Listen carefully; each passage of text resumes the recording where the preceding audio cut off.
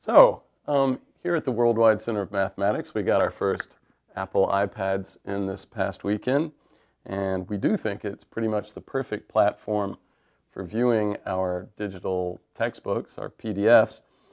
But you may have realized that it's uh, not, Apple hasn't made it that easy to get PDFs onto your, onto your iPad. It's, um, you can't download them through browsers. Uh, it's not that easy to transfer them. There's some third-party apps that will do it, but um, one of them, one of the apps in particular, Goodreader, is, seems to be the best for us. Uh, Goodreader is 99 cents, so it's not gonna it's not gonna cost you much. It's not free, but it's close to it.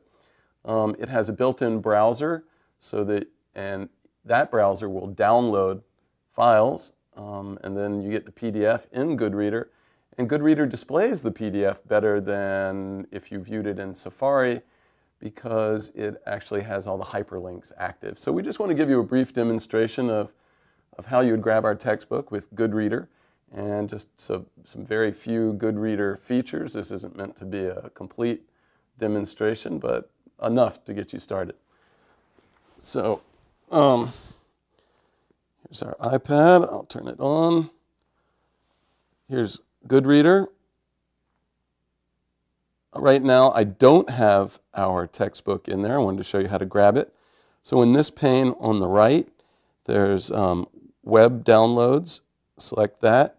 You get two choices, browse the web and enter URL. I'm going to give you the direct URL to our PDF textbook so that you don't have to try to fill out a form. So select enter URL. It puts in http colon slash slash www dot. Type in center of math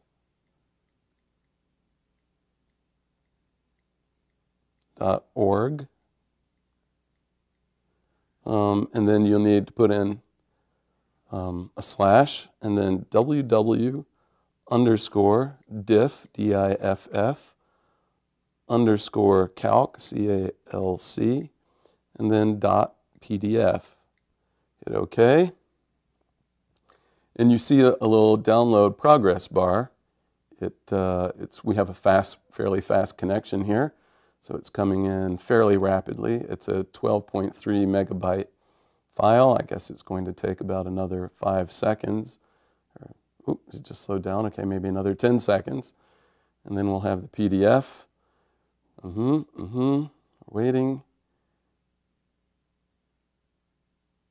Okay.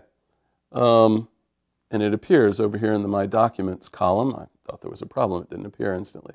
Select it and you see our textbook. And there are all these controls visible now. They'll disappear in a, in a second or a couple of seconds when I don't do anything. But if you just tap quickly in the center of the screen, they all reappear. You can scroll through the pages with that control on the left. Uh, you can go back to the screen we were at with uh, the My Documents screen. Um, you turn page, turn page, you just flip up and down uh, those are easy. Uh, the controls at the bottom, um, you can explore them yourselves. This one makes things dimmer and brighter. There's a lock on the, on the right which stops the, the PDF from changing orientation when you rotate um, your iPad. Um, but we'll let you explore those. What we'd like to show you is um, ah, I see we already have one of the features on. I meant for it to be off by default because that's how it starts. Back here at the My Documents screen, there's this gear symbol down at the bottom. That's the settings button. If you go to that and select viewing PDF files, then you get this scrollable window. And if you scroll down, you'll see that one of the selections is show link bounds for PDF links, and we've turned it on. It starts off off by default. I turn that on, and when you do that, it means that all the hyperlinks in the book will appear with a box around them, like that one. Like, you know, example 1.4.14 now has a blue box around it, and when you hit it, you of course go leaping off. I can shrink this page, make the page grow with the multi with the multi-finger gestures. Um, you can go back to where you were. You need the controls, so tap quickly in the center. Um, here's a back button, this arrow that points to the left. Hit that, you're back to where you were before you clicked on the example 1.4.14. Um, let me show you, so you can just scroll through pages, the colors come up, it looks, the, we're very pleased with how our book looks on the iPad, it looks great. Okay, so if you want to play one of our videos and it, uh, the amount of time it will take to uh, have it come up depends on your download speed, just click on one of these or touch one of those videos. It tells you it's an online video. There it is. Its orientation will change as you do as you turn your iPad. Um, all the controls have vanished again, just like they did in the PDF viewer, but if you tap the center, they will come back.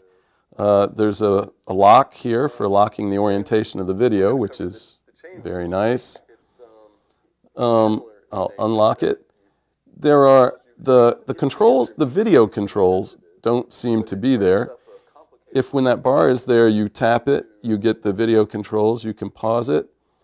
The bar is there. It's, um, it took us a while to understand what was going on here. If you wait, you can activate the controls again. It's, uh, so there they, that's fine.